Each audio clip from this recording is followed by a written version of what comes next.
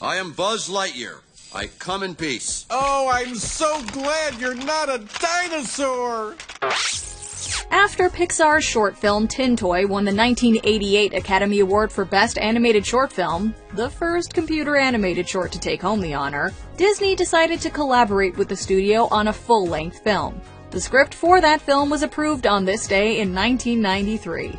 You may be familiar with a little movie called Toy Story, which became the end result of this collaboration.